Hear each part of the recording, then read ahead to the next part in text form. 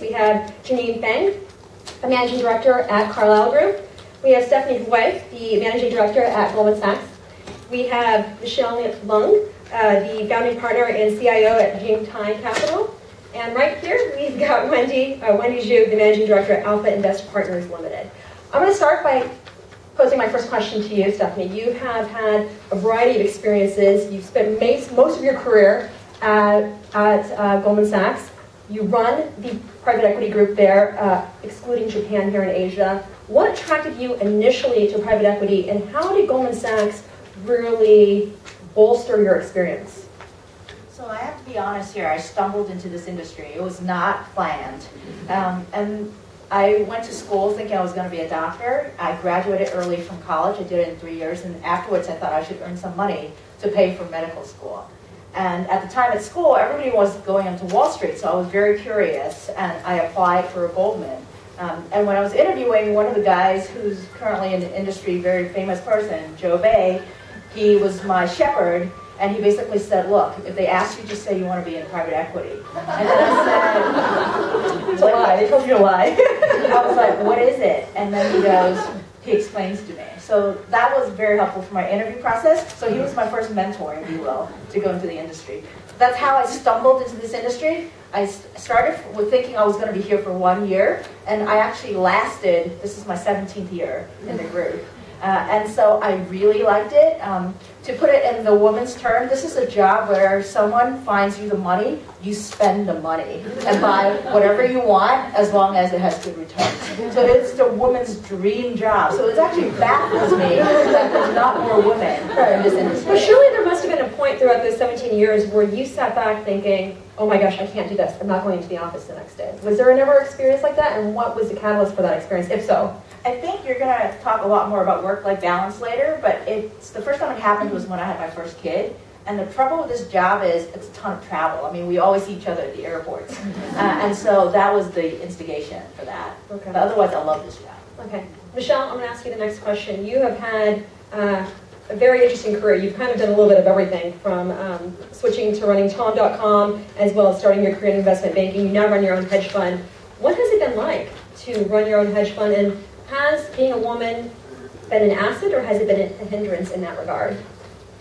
Um, I don't think it's been a hindrance. Can you hear me or not? Yes. yes. Um, I think that um, for me, at least my, in my career, gender has not been a big issue. I, I haven't felt that being a woman was different from, from you know, being in a male-dominated environment.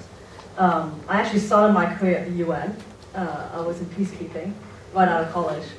And I was, you know, early 20s. And when I was in a mission in Cambodia and South Africa, I was working with men 20 years older than myself. And all, generally, all male. And in many cases, I was the one with, you know, better management skills, and so I took on more of a leadership role in, in many cases, I found.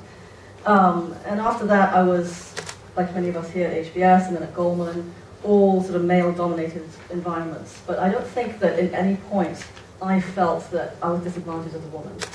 Um, most recently, so I've spent the last five years in private equity uh, as a partner at Lunar Capital. Um, Lunar Capital um, focuses on middle market buyouts in the China market. And uh, recently, I've spun out with a team from Lunar to launch Xingtai, which is a long-biased absolute return hedge fund focused on listed Chinese consumer companies. Um, and so I guess in, in many ways, I think being a woman, there's a scarcity value. You're able to differentiate more easily in many ways. Um, so in my experience, it has not been a disadvantage. Mm. Julie, what about you? When you think about your career, you were the one of the first 100 employees at, at, at Carlyle Group. You were, in fact, interviewed by David Rubenstein, one of the founders of that prestigious company. What was your experience like from the beginning, and how has your experience evolved being there? Um, well, you know, I grew up in Shanghai, so uh, I only went to the U.S. when I was sophomore in college, and uh, I think uh, you know you didn't know anything. So you once I, I came out of college, and, uh, and I just went on Wall Street, and it's, it was like one of those popular things, and um, and uh, you've never been to corporate America before, you felt like this is probably just the way it is. Now, grew up in grew up in China. There's one thing good about that is that uh, Chairman Mao told us when I was early that the woman occupies half the sky. So that does help you in some perspective when you see um, just the society and how your mom, uh, my mom's generation, everybody work. Um, that does help. And uh, now I, I also stumble upon the, this this uh, uh, private equity and without knowing much about it. Um, and uh, you know, talking about Carla, I joined Carla 15, 16 years ago. Um, now back then it's about 100 some total employees, and uh, back then I was an associate. Um, you'd be surprised when the associate and the founder somehow interview you. Today, it's not the case. But I joined as the first um, female investment professional, um, and uh, back in at that time. And today, um, we have 40% of employees are women at Carlyle, and uh, um, over 15% are investment professionals are women. And I think that percentage actually um, quite large for my team. I oversee our China investment. Um, on my team, we have over 35% women are uh, team. So it has come from um, a long way uh, in terms of uh, the representation of female uh, professionals. So I think it does create a pretty good environment for me and uh, um, the rest of the investment professionals or other uh, female employees to um, continue to work. So I think it's been a good experience. Before I ask Wendy the next question, can I just get a show of hands? How many of you guys are currently working in private equity? And how many people here are because they aspire to work in private equity? that's great. That's great. We're, hopefully, this information is going to help both sets of, of those. Wendy, question for you. You have a unique perspective in the sense that you work for a limited partner, AlpInvest. What has been your experience like as a woman within that company? Sure. Um, I, you know, before I start, I just want to say that I'm very honored to be here. I think you know, Janine and Stephanie and Michelle, these are celebrities in our industry, so I'm very honored to be here sharing this experience. And I'm also very nervous as well. I'm just saying, I just did a panel this morning for AVCJ, but uh, not nearly as nervous because there's nothing worse than be to be uh, than being judged by your own kind. So I'm very, very, very concerned here. Anyways, um, going back to your question, I was just thinking about this topic, and I was thinking, you know, Janine's been with Carlyle Group for you know sort of 15 years, and Stephanie 17 years, and I've been in this industry as an LP role, so really for about 16, 17 years. We'll sort of same age, started around the same time frame as well. I think what women bring to the table is longevity and consistency. I see a lot of my female friends, their career development actually has preceded their husbands or boyfriends and men you know, of their same generation. And a big reason for that is, is be persistent and uh, be able to pursue one career rather than you know, moving around uh, into completely different fields, uh, develop that expertise. And in none other than private equity, where your experience, the track record is rewarded more so than any other industry. So from that perspective, you actually have advantage uh, being sticking to, to one thing. And if you are with the right platform, in the case of Carlyle or Goldman, obviously that's going to take you to a long, long way. So I think, if anything, that's sort of something I can draw from this, this panel alone in terms of you know, key to success in, in our industry. And, and being a woman somehow uh, contributed to that as well. So. Michelle, when I listen to what Wendy has to say, I hear that women are amazing, they're rock stars. So why aren't more women in this industry? When I take a look at the statistics from Preqin, it says that uh, women account for 13% of high-level private equity roles in Asia, as compared to 10.3% in North America, close to 10% in Europe, and then 10% in the rest of the world. It seems that Asia is more geared to having women be in these roles. Number one, why do you think that is? And then number two, talk a little bit about how we can get more women in the front, call it the producer roles within the private equity shops. Mm -hmm. um, think it's a couple of factors. I mean, one, we were talking, chatting about this before. I think, you know, the last 20 years were quite tougher. Um, there were fewer women in leadership positions. I think the coming 20 years, with more women in leadership positions, I think it will be easier for the next wave of women coming in. Um, I think the key is women supporting women in many ways. I mean, organizations like this, um, women in leadership roles, promoting women, mentoring women, rather than shutting out women coming in the door. That, that's really critical. Um, I think another critical aspect would be building in some kind of more institutionalized flexibility for women at certain stages of their, of their career. Um, and having probably the right support network. But maybe what we're finding in Asia is that there's maybe more support network outside within the family or within other frameworks that so women are able to pursue their careers because they have that support. Um, The cheaper access that help. the cheap Take access to help, the, yeah. the family that's around to help out as, as, as, um, yeah, parent, with the parenting responsibilities.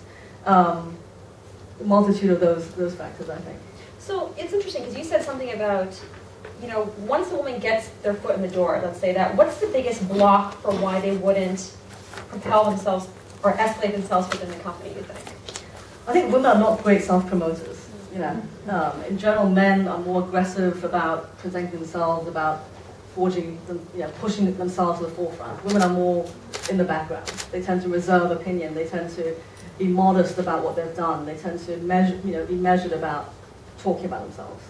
Um, that's certainly one aspect. And I think in general, like, I would say probably, in my experience in the last 20 years, I mean, women have not always been supportive to other women, in my experience, in the last 20 years. Um, at least in institutions I was in, um, the women were not the ones coming, reaching out and helping out. So, not in my experience. Um, and I think that it would, it would help if that changed. Um, the peer-to-peer support is really critical.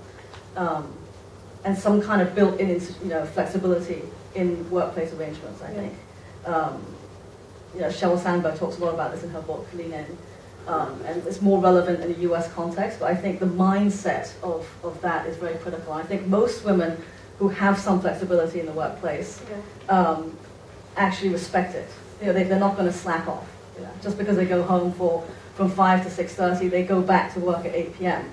Um, and women are very diligent about that. I don't think they would slack off if they had a modicum of flexibility within, within certain stages of their career. And that would help enormously in the longer term, It's a great point. I mean, I don't know how many of you guys feel this way, but I feel like this all the time where I feel scared to have that conversation with my manager about things. I get like the butterflies, I get nervous, and I've gone up to all the great schools and I feel like I should know how to do this. And I tell my husband this, and he just looks at me like, why don't you just go ask the question? Because you don't know the answers. You need to find out the question. But I get really, really scared, and I don't want to come across as aggressive or pushy, but sometimes that's what I need to do. So Janine, any comments on how you went to great schools also? So it's not that you have to go to these great schools to learn this. How did you learn to present yourself and to not necessarily demand what you want, but to make your claims and, and, and express what you need in terms of the support? Well, I, I- think um, partially just uh, it's the it's a mental um, preparation and just uh, you know I, I'm always very direct and uh, I'm always very um, somewhat opinionated about things and uh, uh, somewhat helps and uh, you, you just really have to speak up and I think women tend I think I agree with Michelle tend to be you know um, kind of uh, uh, half glass empty um, type of syndrome. But uh, you really need to be, if I look at all these, um, you know, 16 years in this industry, and I, if I look at some of the people that are very successful uh, in our industry, is uh, as a woman, you really just have to speak up. And uh, when you give it a chance, you better grab it. Um, and a lot of women decided there may be the next chance and not very confident. And you really have to over time develop that and be confident about it. And to do that, you you you do have to do some work, and um, you just want to grab chance. And uh, so that's I think that's very important. And I found many many women who um, I can see in some of my associate VPs directors um, that uh, sometimes they mm, decided to pass on chance, you know, and they just decide to let the, the next guy says the right thing or at that moment. Um, I think sometimes you just have to be uh, grab that chance. Someone once said to me, speak up, and if you can't speak up, practice. practice in front of a mirror. That's yeah, I, I have women who, um, you know, we do these uh, portfolio reviews sometimes, and um, sometimes they uh, they said, okay, how about somebody else say it? And I said, well, why don't you say it? Well, uh, I said, okay, this is what you do. You're gonna be writing that out, and you're gonna read. and uh, and she and she did that, and she did two, three months in a row, and then she was good at it afterwards. So I think she- in the beginning she said, I don't want to do it. I have this VP do it. Um, but I think you just have to put yourself out of it, uh, out and, Yeah. and accept sometimes failure. Yeah, absolutely. You have to be comfortable also having those difficult conversations. Question to both of you, because you both work for what I would consider established companies. You talked a little bit about how a woman could be more uh, accommodative in helping themselves grow within a company. But what about the company? What can the company offer in terms of perhaps these flexible arrangements? You alluded to earlier that perhaps when you wanted to exit the building was when you had your first child. There, surely there must be uh, implementations that the companies can think about to, to make that easier, to make the onboarding easier when you come back from, for example, maternity leave or what have you. Mean, from Goldman's perspective, I have I've been very grateful. I've been allocated a mentor to me who's a woman, but frankly, the, the informal mentor is actually way more important. And I have built these relationships all the time. So I've seen people who've done it, so it's nothing magical.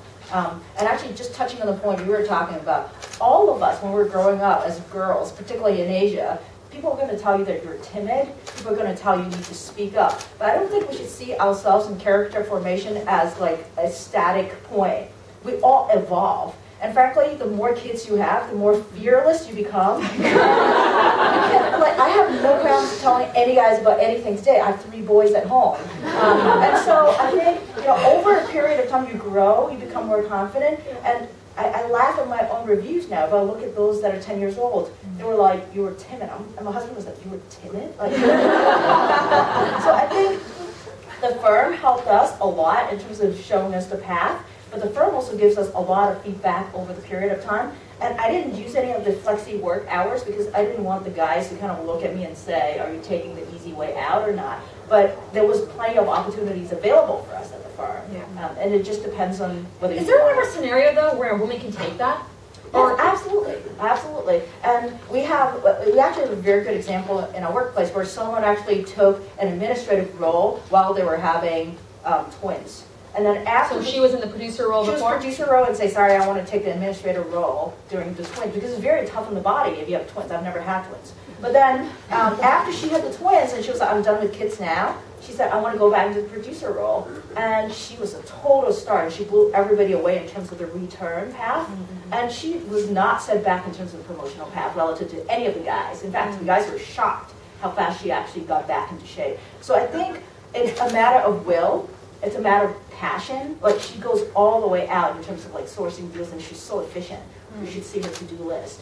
But I, I really think um, taking a step back and then you know having your kids and coming back is total doable. And asking for those opportunities if you don't work for a big firm, I have to imagine is also a priority. Yeah, I think um, for, for, for us, I think obviously, um, you know, for platforms like Goldman has a very much more institutional uh, way of managing it. And for us, you know, obviously a much smaller platform, but I think the culture helps. Um, and um, I think, you know, our culture tends to be quite team oriented and kind of like Goldman and also quite family oriented. You know, I, I, I think when I first joined, um, you know, I, I, I was uh, in the middle of uh, clo- I was a VP then later on, and I was in the middle of a closing, a, a literally closing deal, like uh supposed to close next week. But uh, I, I had a wedding um, that Saturday, my own wedding. And, uh, then I thought, okay, uh, you know, I came from investment banking, so I said, okay, this is gonna be like my honeymoon is gonna be postponed, and uh, because I was ready for it, because I, I said, okay, right. So I get myself ready, like, okay, I'm just gonna go Saturday, Sunday for wedding, then I can be back on Monday. Um, and uh, you know, just because you're a VP and closing is very important when you're VP.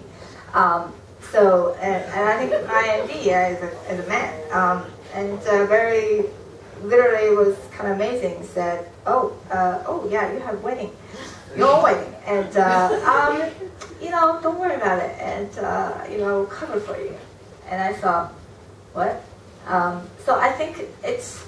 I, I felt quite good. Uh, I feel you know very different um, as a kind of culture, and I try to carry that for the next my the way my own managing people, and I you know you don't give um, women in our organization don't feel like when they're pregnant it's like oh you know everybody looking differently or something they look just normal, and we have make arrangements such that you know you can have four months off, um, and uh, you know we have kind of Do people take the four months? You know, you Yeah, always hear people about the Marissa. Mayers of the world who two weeks people later. take four months, and I encourage people take four months. And uh, I, you know, one thing you you realize in life that uh, sometimes you're not as uh, you know indispensable as you think you, you know, some and. Uh, um, in a sense, you make the arrangements, and every the team knows, understands ahead of time, and plan it. Um, and then the investee company understands, the portfolio company, and you make you make a lot of arrangement ahead of time. And I think that it's a good transition when she comes back. It just flips over, and I think we have been going through that in our my team for many times now, and uh, I think it works well. And these people not put back because of their pregnancy or others. I think uh, you know you have such environment, and then it, it's it's it, it works better for the next associate joins. Yeah, once you change your diaper, you can do anything. I have to imagine, Wendy, that uh, what has it, or I'm not going to imagine, you tell us, what has it been like for you in terms of establishing that equilibrium between work-life balance? Sure. I mean, I, I just want to comment. I, I think you know, there's no illusions. I think all the women in, in the industry have to put in the hard work. And if anything, I was I would think that you're working harder than men because if you don't communicate uh, your achievements, uh, you really have to deliver through what you can deliver, which means track record. You know, really have to make money. I know you all have for for your firm. Without those real numbers, you're not going to be sitting here today.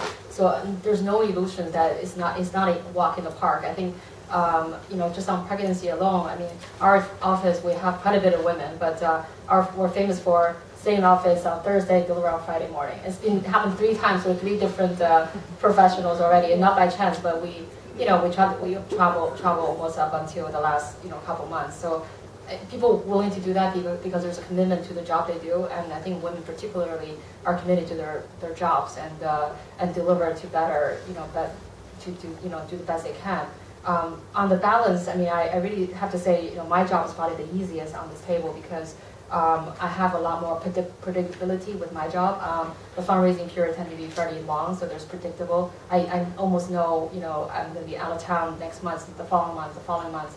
Um, I, I can plan out my calendar almost six months in ahead. Doesn't mean I travel any less. I still I cover the regions more of a, you know, sort of uh, sort of uh, broader base. So I cover Asia region. So travel will be from Australia to India to Southeast Asia. But you know, sort of um, the people I deal with in terms of the, the, the, the actual schedule is much more manageable. So I think you know I'm really not the one to speak here. I probably have the easiest job uh, on this on this panel. Um, but uh, we are very lucky in Asia that we have help um, at home. I, I cannot imagine how in US or mm-hmm. European mm-hmm. or in other parts of the world people do it. I think that's also the reason why the number in Asia actually does not look bad. It's, it's really mm-hmm. almost 100% the reason why we, we have a number what it is today. So that you are, you know, back in fighting form very, very short, very quickly after that as well. So, but I'll let the other women share their experience because I, I know they have a lot more to share on that. Any other questions at this point? I thought I saw a hand in the back. Uh, let's switch gears a little bit. And let's talk. One point, Yeah. uh, to add, but, you know, I think the critical thing is having women in leadership roles, like what Jeannie's talked about, you know, she has now brought in more women within Carlyle. You know, what's needed in the industry is that, for example, more women-led or women-founded firms should be backed by, you know, by LPs.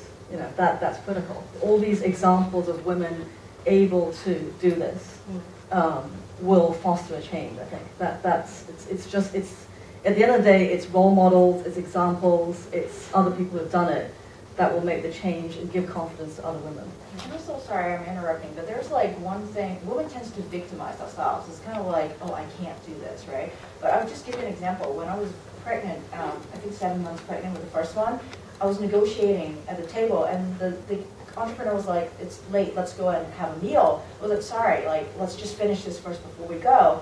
So he called my boss in the end and he goes, it's so unfair. You send this seven-month-old woman who's refusing food and negotiating. I have to say yes because I don't want her baby to be hungry. so a light just dawned on me. It's like we feel sorry for ourselves when we're in this type of situation, but in reality, is you know like it could actually like being woman be different in a room. Can actually work to your advantage. You know that's a bit of joking aside, but you know that's how I see it. It's like half empty, half full. It's, it applies to yourself and mentality. You said something interesting, Michelle, and there's a statistic from the World uh, Bank's World Development Report that says that women-owned businesses account for only 3% of venture capital investments globally. You talked about the need to have more of those businesses owned by women, but why, what can be done to increase that number, and why is it so low to begin with? Um, I mean, why is it so low? I don't know. It's a complicated. I think it's a complicated uh, situation. Probably partly it's institutional and cultural. You know, um, men are backing men, and there's there's a bit of that going on. Um, a lot of women are opting out, like we talked about. You know, it's too life too difficult to to, to um, balance work life issues. It's uh, you know why why go there? So that that's a lot of that going on. I think. Um, but I think it's critical that that happens more. Um, and, I, I think your question is more like, so if you were running a business and you want to raise money from a VC or, or private equity fund, what Yeah, would what you want women what do to get on your radar, on someone's radar? I mean, I think first of all, I think going back to what Stephanie said earlier, I think um, passion is really critical. Whether you're starting a company, running a company, or doing this job, I mean, you have to really like what you do, and you have to be driven to succeed in what you do. So, you know, you have to be true to yourself. So, is this really what I want to do? If, if you really want to start the company and you want to go out and raise money for it, if you're passionate and you're diligent, you know, you're, you're halfway there to some extent. Um, but I don't think there's a gender issue involved in terms of, you know, if you have a sound business model, the right strategy, the right competitive positioning, and the right track record, you, know, you will get funding, right? Whether, whether you're a man or a woman to some extent. Um, but, but I think that being a woman as an entrepreneur, I think that um, the advice I would give is it's tough, you know, being an entrepreneur. I mean, it's a, it's a 24-7 undertaking. Even if you have greater flexibility, um, you, you're living with, with the stress more. And you have to be able to handle that stress um, in your workplace, but also emotionally. Being able to ride out market cycles, ride out cycles within the company's development. And if you're someone who can ride out that kind of stress, and um, then probably, you know, you, whether male or female, you're equipped to, to raise money for your company. I think that's. I mean, on what you just said earlier in terms of whether LPs or investors are backing, up, you know, women-led funds or women-led companies. I mean, there is a, a there's a there's definitely that movement. I mean, the, the pension funds devoting a billion to just backing sort of minority women-led funds or or, or private private equity venture or other businesses. I think there's there's definitely that recognition that this is something that you know at least a, a huge part of a huge capital base in the world that's willing to to to, to back. What do you think of that quota, just to Yeah. check the box? Um, well, I mean, this particular investor is a very big investor, so a billion for them is still sort of a you know percentage, um, you know, single digit percentage of their overall portfolio. But I think by sheer dollar amount, that's a pretty sizable dollar amount, and there's continuum of where, where that will come from. I think. Um, so it's, it's a small step, but I think I'm a little bit too too um, minded about this because on one way I want women to win out on merits, and not Right. because you know sort of. Uh, Someone's checking the box. Exactly, someone give you the money, you know, it's like a charity, whatnot. But but on the other hand, it also needs to you know be there to, to support uh, some of these uh, initiatives, so to, to demonstrate, to give you an opportunity that you might not other, otherwise have. So I'm a little too minded about this, but I, I think um, if I look at the performance, actually it's quite good. So you know, there's nothing there to say that this is going to be underperforming the sort of the average, you know, sort of portfolio. So it's it's it's, uh, it's interesting. You know, I don't know a lot about it, but uh, you know, that uh, I think is definitely happening, and uh, hopefully a positive for everyone, you know, sitting here today. We're to switch gears a little bit because there's a variety of backgrounds and experiences in the audience. Let's just go around the semicircle here and what are some of the key skills, qualifications you need? Because surely when you guys enter the industry, it's perhaps different than, than now. And I know a variety of you guys have, uh, many of you guys have um, MBAs, but I don't want people thinking here that you need to go to X school, you have to have X background for you to break into this industry. So perhaps share some experience on, on what you're seeing now when you go through the interview, when you interview others. Um, I, I think clearly, obviously, there's a there's a expected um, intelligence, um, uh, you know, required, um, and uh, uh, but I assume you know a lot of those. And uh, but but I think there's a in our business, it's a long-term business, so um, people need to come with a long-term commitment, and uh, um, and I think that's part of I think. Uh, for anybody, whether it's man or woman. Um, you know, you do have to um, be prepared to make a, a longer longer term commitment to make it more economically um, uh, uh, interesting and everything, and, and career wise. And um, and secondly, secondly, you have to like. Uh, our, you know, the big part of the job um, is meeting various companies. Um, I happen to love it, and um, I, I think you do, you know, it, what it does is it requires you to travel everywhere. Um, so if you um, not committed to that, that's also a bit of a, a bit of an issue because it does bring you to, you know, anywhere kind of in the country. It could be fifth tier cities of China somewhere, um, and you're meeting, you know, not very like type of people. Um, and uh, but you have to really love that, and uh, and, and, and because it's a long-term business, you have to. Um, the most important thing about our business is not just kind of doing that deal, and it's much more about what you do afterwards. Um, so it is. It, you have to have that skill and the patience, and uh, and also um, uh, commercial sense to work with people. I think that's kind of very very important in our business.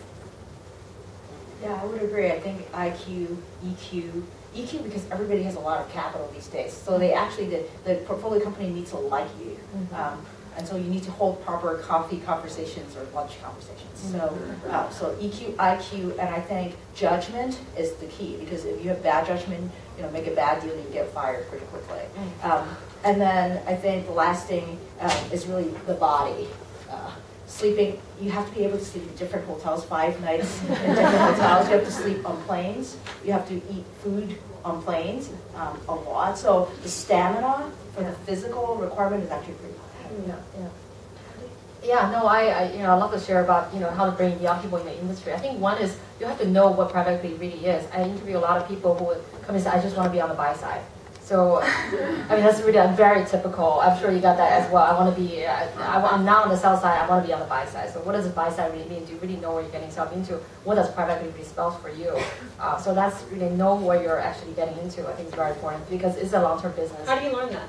How do you learn you that? encourage I mean, there are so, I would say five years ago it's difficult because we were early stage industry. Now there's so many, you know, seminars you can go to, people that work in the industry. There's so many people, it's, it's a mature industry now in, in Asia. So a lot of people you can talk to that work in the industry. You can get a lot of information from them. Even through websites, a lot of the websites of different firms, uh, you know, offer portfolio company breakdowns and things like that. So there are a lot of research you can do. So there's really no excuse. If you step in the door, you should really know who you're talking to and what industry you're trying to get into. So that's one. Two, I really agree with Stephanie. I think EQ is so much more important than IQ in our business. It's really relationship building. That's why women, I think, actually have advantage because that relationship building comes so naturally for us. Where I think for you know men or you know younger younger professionals, they need to really build that. You know how to reach out, how to build rapport, how to make people like you. That's really important. Um, and then and then think and, and not just execute. I think the problem with women is we tend to execute a lot. We, we are very good at processing, writing a paper, writing a memo, you know, do something and put the numbers, make sure everything will click and, and, and, and put together. You know, that's a bean counter's job. This is, you know, this is really about thinking and looking to the future and really kind of, you know, fundamentally believing something. So, you know, that's where you're going to differentiate you from being associate director into the next level, which is a partner level, really make decisions. So I, I think those are some of the things, may, obviously not going to get there in day one, but you know, try to think along those lines. And also, I really believe another thing, if you like industry, you like a business, get got to start early. I think a lot of people, oh, I'm going to be consultant for a couple years, banker for another couple years, and now I'll figure out what I'm going to do after that. Or, or maybe I'll go to MBA, and after that, I'll figure out what I'm going to do. I mean, you're going to waste all that, you know, seven years time where you could start from ground zero into the industry in day one of, you know, where you started, and that those experiences going to come in multiple times for you. So is it harder to break into this industry if you are, you know, say in your mid 30s, or after you've done a variety of different experiences, Yeah. and you then you want to jump into it? Do you think it's harder? I, I don't think so because I, you know, I, some of the best investors in our industry are actually have people with operational experiences that, that they actually run businesses before,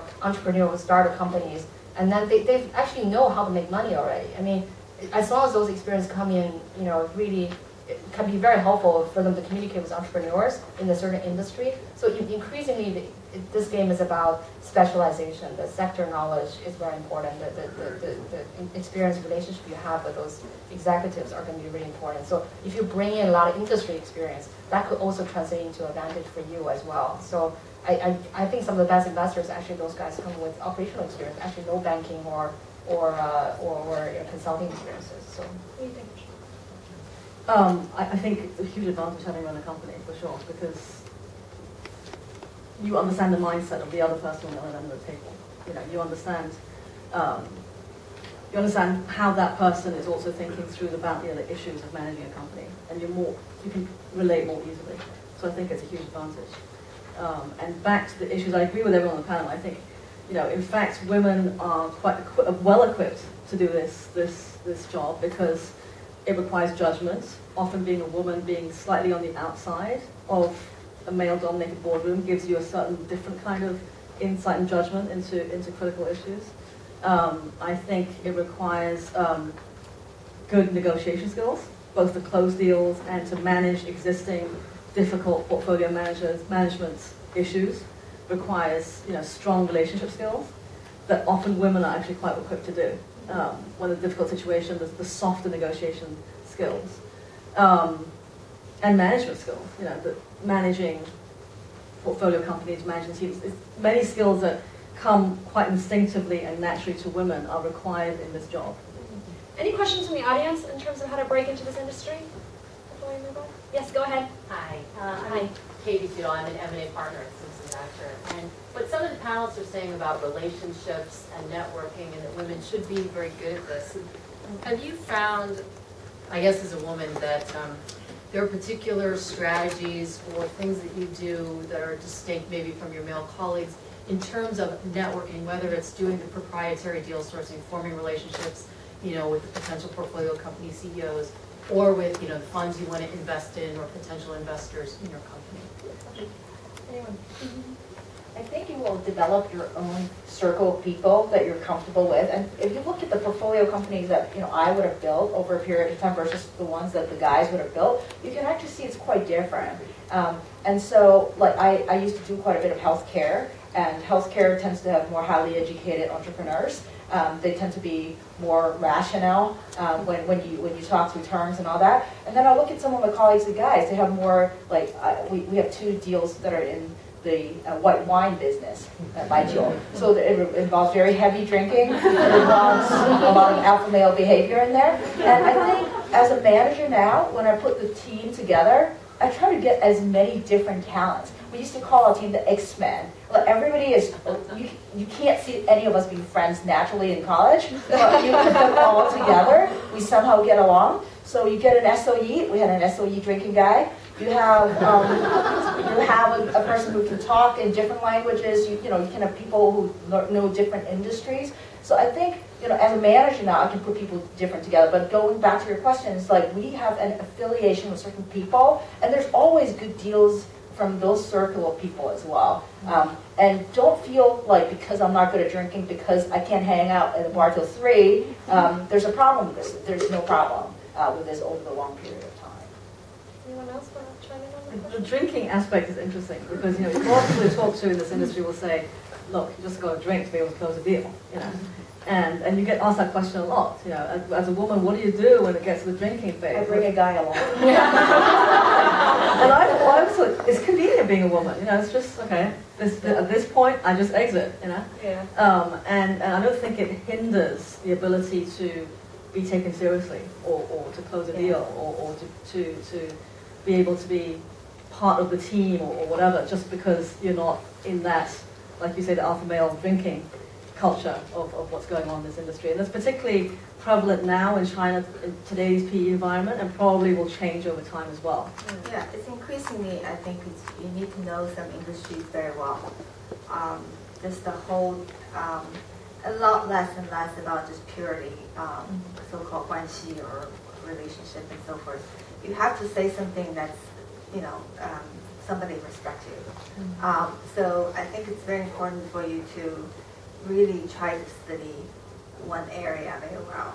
And um, um, past experiences, past uh, you know relationships, um, it really will speak out for you in, in, in, over time. So I think that really helps. And I think women, um, in, in, in many sense, are actually quite observant and quite um, uh, very good at. And I think uh, sometimes uh, these days, actually being woman, sometimes for me actually strangely works works works well. I mean, and uh, because most of the board actually mostly male, and so when you have one female voice, they actually all listen. um, and, and because uh, they think it's uh, okay, better listen to this, you know, some, some, you know, very different voice. And uh, um, I think sometimes you just have to um, kind of think about what your strength is and uh, be good at one or two things, and you can never be good at everything. And that's how um, I, I think I agree with Stephanie that um, in our staffing, and we try to assemble people who are good at something. Yeah. No, absolutely great. I think I think the industry is getting much more professionalized um, now than ever before. So as I think the drinking, uh, you know, the, the bonding, whatnot, that still exists to a certain degree, but um, increasingly, I, I see GP getting a deal. It's not because they have better relationship with the, you know, but a lot of times it's really they're there first because they focus on those areas. They have specialty expertise in those areas. They understand the sector very well. They bring something else to the table um, and uh, that get them the transaction. I mean, a lot of times the same deal is available to, to a lot of people, and at the end of the day, who does it, who doesn't, is really a judgment call, and also who are, are much more prepared um, at that moment, at that juncture, to make a decision. So. Um, I, you know, I, I, don't think by any means women should be disadvantaged out of, out of that, you know, out, out of that uh, that process. Um, there was a question on the side. Yeah. Yes, go ahead. So I have a broader question about the private equity.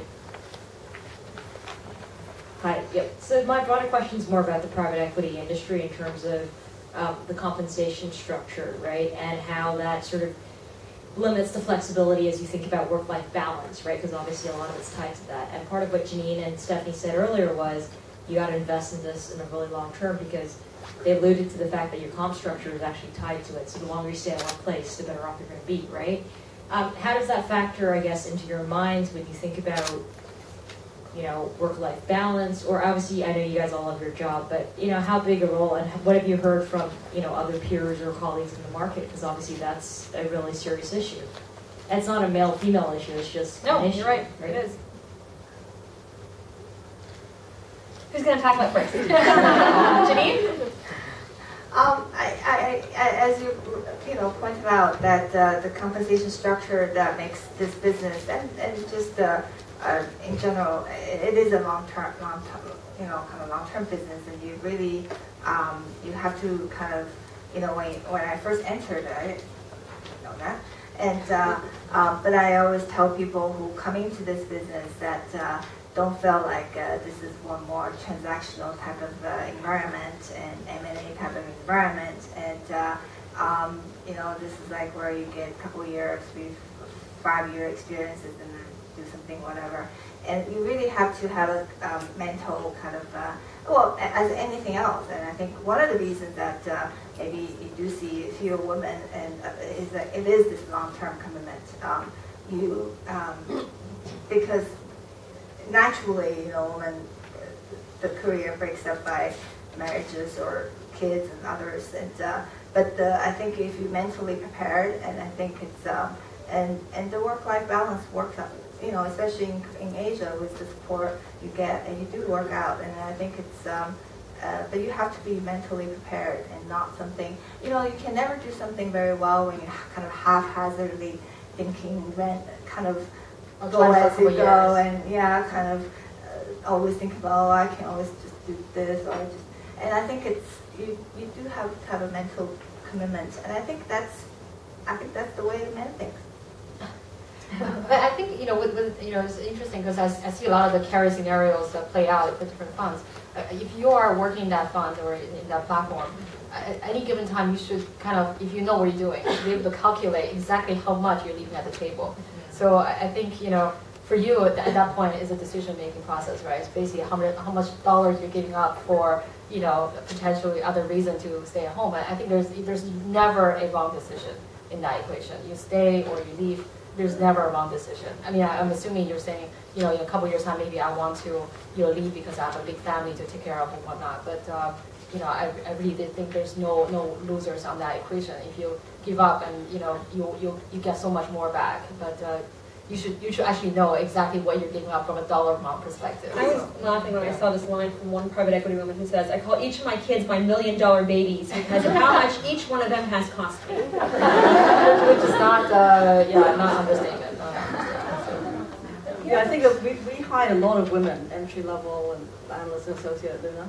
Um, and sometimes it's not, it's not even a women or man issue. It's, it's, it's a cultural issue of, you know, younger people are short-term focus quite often. And um, they look around and they think of peer pressure and who, you know, what's the banker, what are the bankers getting, what are the, what are the other industries paying? And, and they're cross-referencing what they're making today with what the other person's making. And, and a lot of that short-term culture is quite prevalent, and that's difficult to manage because it's really an industry where you're not going to get compensated in the short term.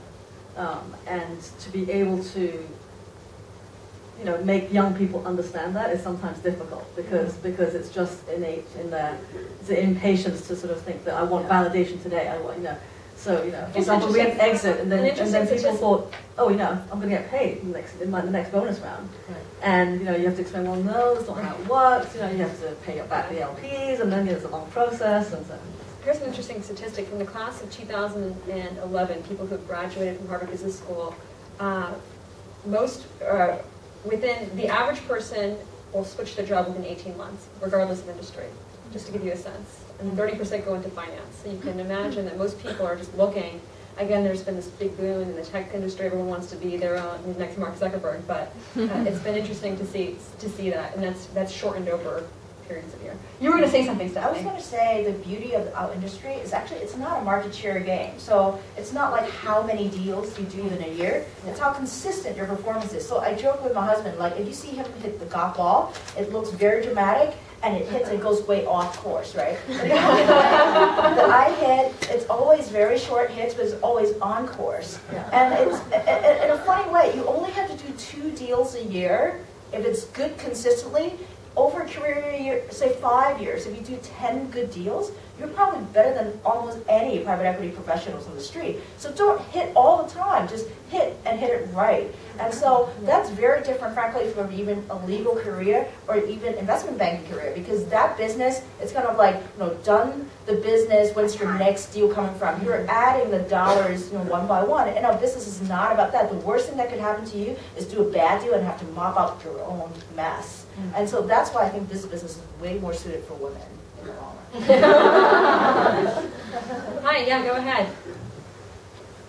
Hi, I'm um, Marcus Thompson. I'm the CEO of Headland Capital Partners. Uh, we're a uh, mid-market regional private equity firm. And I'd like to ask the panel what advice you would give to the CEO of a GP, private equity firm, to attract and retain uh, more women. By the way, we have uh, more than 20% of our staff are women uh, on the investment executive and managerial side, so we're not doing too badly on on the, according to the averages, but I'd be interested to hear panel's views on how uh, we as a firm should, uh, could attract and retain uh, more female staff. Attracting at all levels, correct? Yes, all levels. Okay. Great question. Uh, I was going to say, uh, the difficulty of recruiting into this industry is there's no clear path. There's no like, you know, fair, there's, no, you, you guys will go into college. It's very mystique.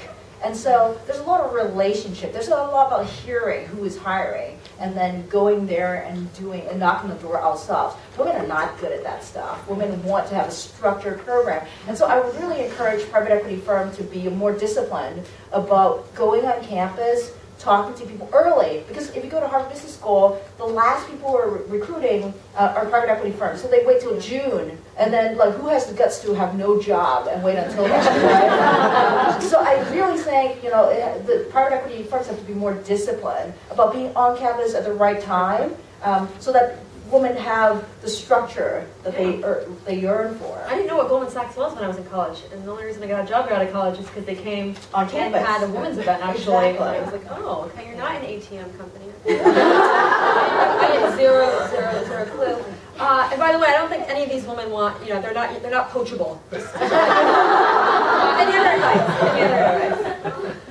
We have the opposite problem. We have a lot of women in our office. We actually say, well, next time maybe we'll, we'll try to look for a man. Poachable. No, I, I- think, um, you know, uh, first of all, you know, just the fact that you asked that question, it means that the leadership has that in mind. Uh, And that, I think that's a big thing about it. And I think our firm um, uh, you know, historically always being the entry class of associates, always been men.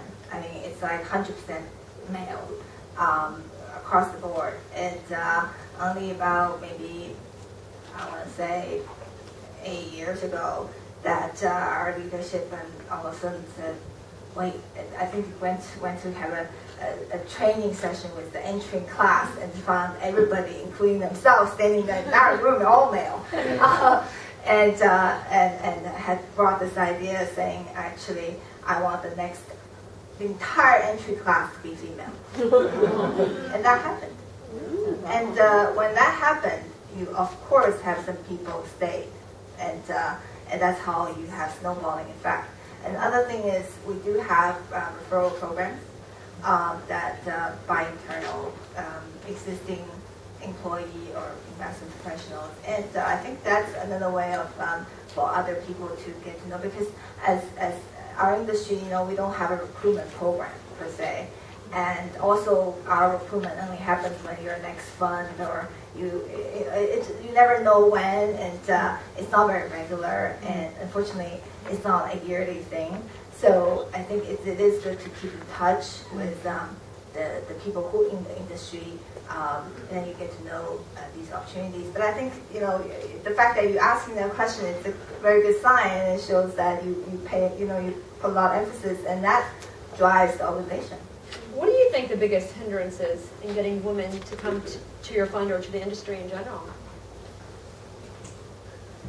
Okay, well, first I just want to echo Stephanie's point about diversity. I think that's really important, uh, both from a deal flow generation perspective, different networks. Uh, secondly, from a decision-making perspective, that uh, diversity is great as well, because the more perspectives you have on a particular transaction, uh, I think the better the quality of the decision.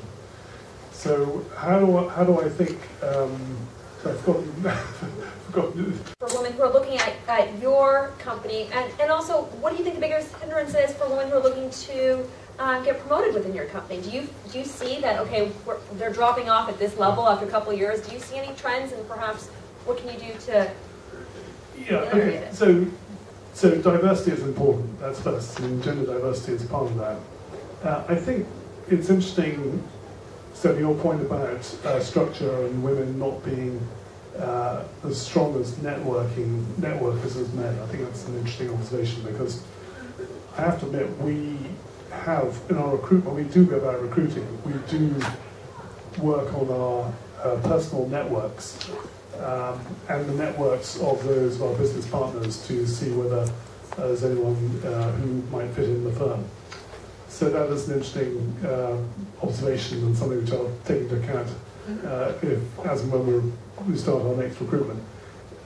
Otherwise, I think we, I think uh, a little bit is about behaviour actually within the firm.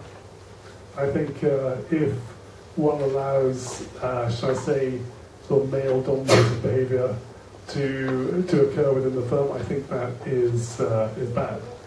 So, and that can be. I, I try to, as far as I can, uh, shut down any uh, sort of conversation which sort of heads down, heads in that direction, because uh, I feel it's important. Everyone needs to participate in discussions, feel comfortable participating in discussions, and everyone should feel included. That's true. We, we have uh, um, a lot less uh, discussion on the sports and some discussion, some discussion on kids. Which is great to hear because uh, I was reading through some of the research I have, and it says that you almost have to downplay having kids. You're not supposed to mention that you're having kids. In fact, one person says, "Don't get pregnant." In fact, the best thing, in fact, it might be the best to project an active antagonism toward motherhood. We all have kids here. Have you ever felt like you had to do that? Have people come to you and said, "Hey, I, I feel like I'm really nervous about this"? Actually, I think having kids help me in terms of the relationship because if you go to an entrepreneur and you have no commonality, either gender, race, or whatever, and then you talk about kids, mm-hmm. like everybody just melts. And these days in China, the hottest topic is how to get your kids into the boarding schools in America. And if you know anything about that, you're a hot property. so I think that links like your interest level, your like, it, it just makes you way more colorful. Yeah. Having kids makes you bold, fearless, and it makes you interesting. I think whether men or women as well. I think men end up talking about their kids a lot as well. It's Yes. not Yeah, only that's a, true. Uh, Common uh, a, a women's thing, yeah. But yeah. the, Yeah, the sorry, thing they don't. Just on the kids' point, I mean, one of the reasons is I have two daughters. Oh. So I, I, when they grow up and enter the workforce, I want to feel that they have uh, equal access to the corridors they pass. So, excuse me. No, that's great to hear because you know clearly we. I, I often get I often get nervous when I come to speak on women events, and I love Sume to pieces. But I get really nervous because I don't want to make this about a woman's issue. These are issues that are going to impact males or females. It depends really on who you are and what your background is. Just because you're a male does not mean that you don't get nervous also talking to your boss about a raise or what have you. I think it's important to, to have this conversation because I do think there are very real issues that uh, do keep women behind, but I don't want to make it a woman's issue. It's really more a private equity issue Yeah, than it is a fact, woman's now issue. things are changing in social dynamics, and in many households, or some households, you have the male taking on the primary caregiver role within the family, um, and the woman pursuing the career all the way. So you have different situations, different you know, setups. Yeah. Um, and so I think it's not entirely just a gender-specific issue. Right. It's more a work-life balance issue and how you handle it as a family unit. And you, you brought up something really interesting, uh, which is it's so important who you are married to or who your partner is or who your support system is, whether it's a husband or a wife or friends or colleagues or informal mentors that provide you that support. I think that's really important. Choosing those people is really important. Probably the most important though is the person that you are with, that you spend, you know, thinking about the chores at home and you spend thinking about the child It takes a village, I think, to have a family. Uh, It takes an caveat, army. she has four kids. Yeah. it takes an army. I think it's your partner, it's your parents, it's your in-laws, it's your helpers. It's you know, it's everyone is involved in the process, and everyone has a role. I think. I saw another question. Yes, go ahead, mic, please. Hi, my name is Nina Martinez. I'm a former private equity professional. Um, for anybody on the panel, can you tell a story perhaps of any situation where a client may have had an issue with working with a female partner um, and how you overcame that? And kind of a, a related question, if there are any intra-office politics that you've had to overcome, whether it's a land grab for industries or whatnot, how have you dealt with other partners in your own offices um, in terms of being a female? Great. So two-part question. We'll start with the first one. I, I, I, I really can't think of the situation that, um, um, a, a, a investee company or the the chairman or founder or whatever that had that issue.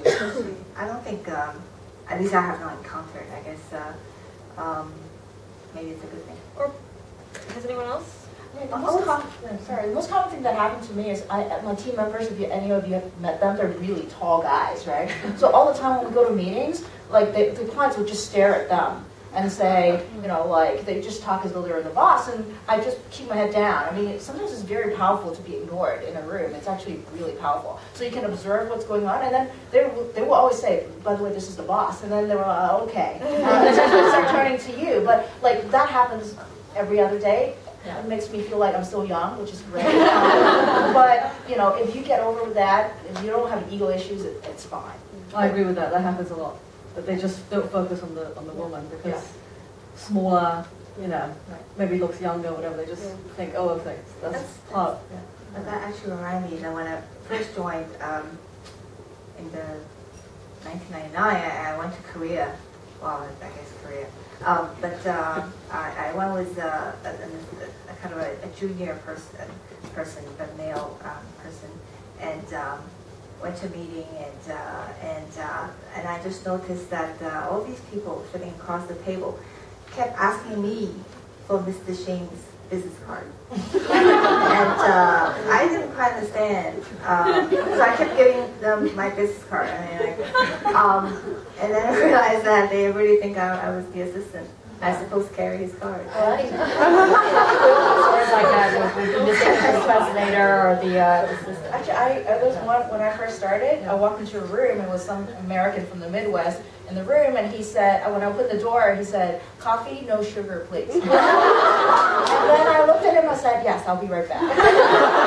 I go and get the coffee. I got one for myself. I said, "We can start the meeting. My boss is a little bit late." And he was like, oh, can I get you anything else? but I think, you know, I always get into these situations, but it's like, it makes you feel young. It's, it's interesting because I was thinking, um, it happened to me a lot earlier. Now it's not so much, and also I'm, I have the luxury of being the client all the time, so they do make sure they remember who I am and my. Um, but um, I, I, I did make a point when we have you know big boardroom meetings um, to to be the first one to to ask a question because I, I think you know women tend to get ignored and your voice tend to be ignored. So if, if you don't jump in right away, soon enough you're just going to be covered by the, the noises.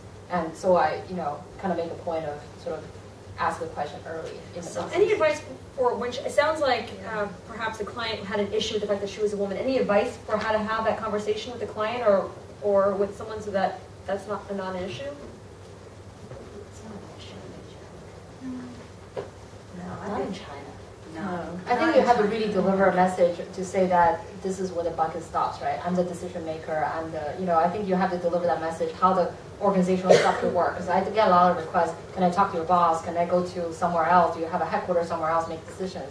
No, no, the decision gets made here. If you don't by- bypass here, nothing gets, gets really done. So I think we have to deliver that message over and over again. And then after quite a few times, and people kind of get the message. But, you know, I, I don't know, I don't know if that happens. I think it's interesting Yeah. corollary to that is that, I mean, in general, a lot of women talk about within their career experiences, um, men have not been the issue.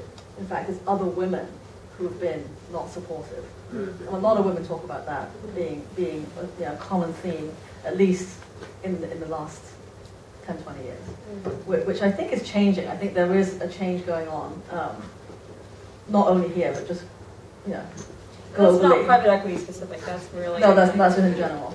Um, If I recall your second question correctly, was it on how to deal with internal politics, which again, I assure you is not just a private equity issue.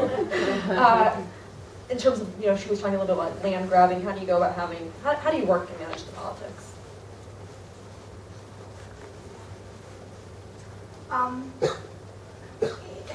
I, I think in private equity, it's, I, I, I- hope at least, it's not as, the politics is not as prevalent as, you know, in a larger organization. And because the, the structure is so flat, I mean, it's so, the, uh, the, you know, most of the time, the, the performance is much more just results driven.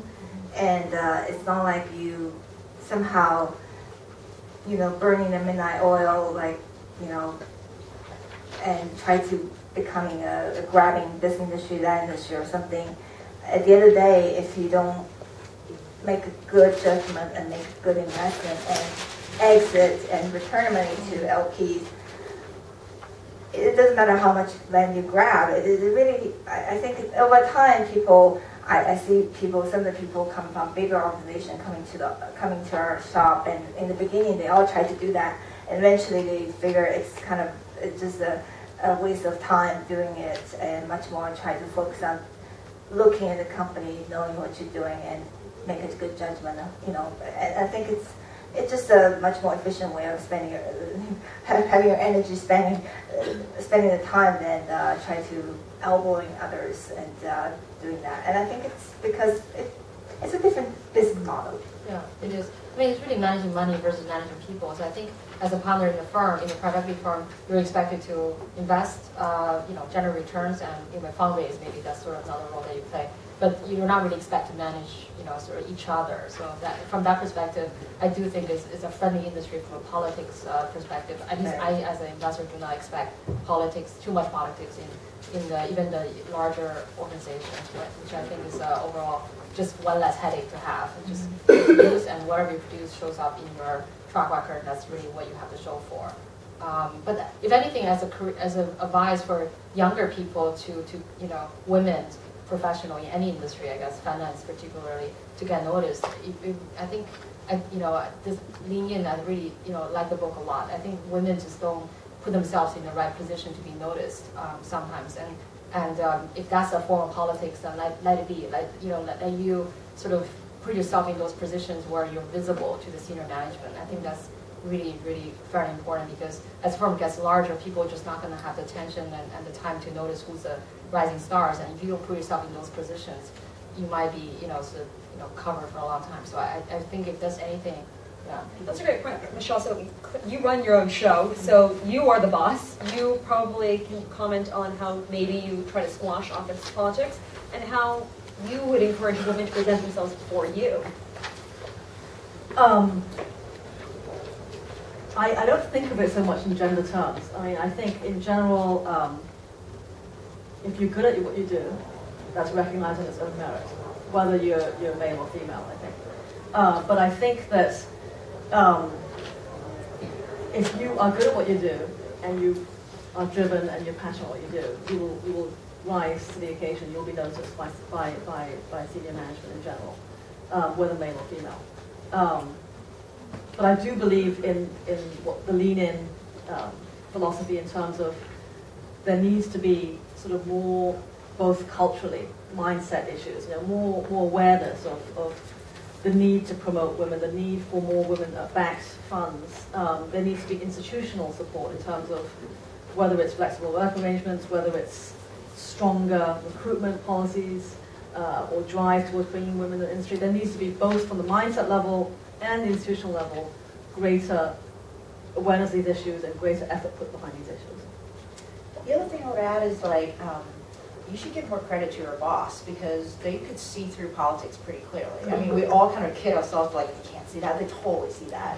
Um, the other thing is, my policy is I will play defensive, but I've never played offensive. So don't mess with me, but I will mess with you. So that's kind of like, you know, like I think for women, um, that's probably the most the best position to be in and just be very matter of fact. I know, you know, I know Ginny for many years. She's very direct, and I think it helps. Um, over the period. Okay, we're going to have to leave it at that. Thank you so much. Hopefully this conversation was inspiring and made you think of even more questions that probably we could take another hour to discuss, but sadly because of time we're going to have to leave it there. But thank you so much for taking the time to end. I will, uh, to attend, I will not pass it to Claire.